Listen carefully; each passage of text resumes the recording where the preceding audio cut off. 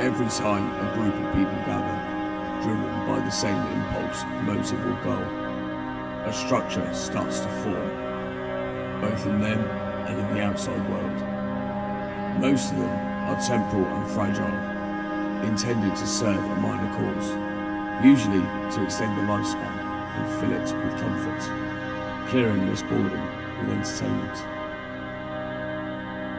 Our work transcends death.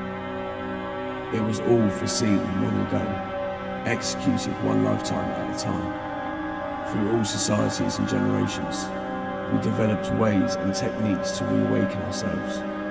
We invite you to our congregation. Come and celebrate in fumes of boiling royal blood.